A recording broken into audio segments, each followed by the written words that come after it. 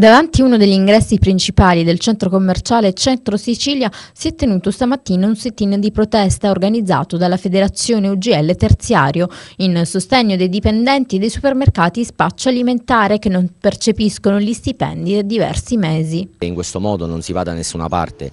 I lavoratori eh, non, percepiscono la mensilità di febbraio, marzo, ora aprile è finito praticamente, nello stesso tempo eh, sono in cassa integrazione, una cassa integrazione che comunque è a rotazione e che non vede coinvolti tutti quanti.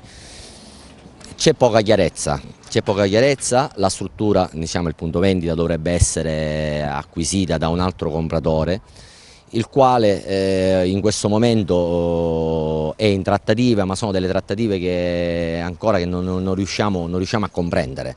L'unica verità è che questi lavoratori oggi lavorano senza percepire lo stipendio ed è allucinante, è pazzesco. Tra l'altro ci sono alcune organizzazioni sindacali, mi dispiace dirlo, che hanno indetto un, uno sciopero permanente, però puntualmente i loro lavoratori vanno, vanno, a lavorare e questo è qualcosa che è inconcepibile perché comunque devono difendere i loro, i loro iscritti.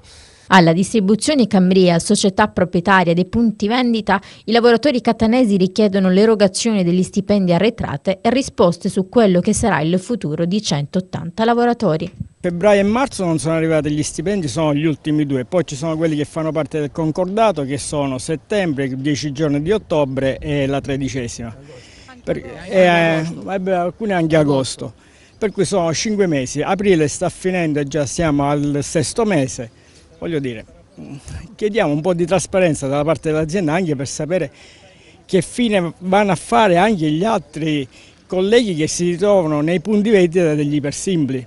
Dentro gli ipersimbli c'è spaccio alimentare con un accordo fatto con la SMA molti anni fa e saranno 7-8 unità che rischiano veramente il, il licenziamento.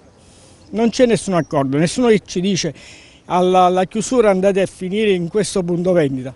C'è silenzio assoluto, forse andate, andate in questo supermercato, ma poi di fatto non c'è nulla. Per cui, mm, eh, non lo so. Ora siamo qua, si va ad oltranza perché non c'è altro modo da fare. L'Enel non è che gliene frega qualcosa se siamo, in, se siamo in difficoltà. Se non paghiamo le bollette, tagliano la luce, l'acqua, il padrone di casa si può anche seccare perché giustamente cassa integrazione non se ne parla. Cioè, ma che dobbiamo fare?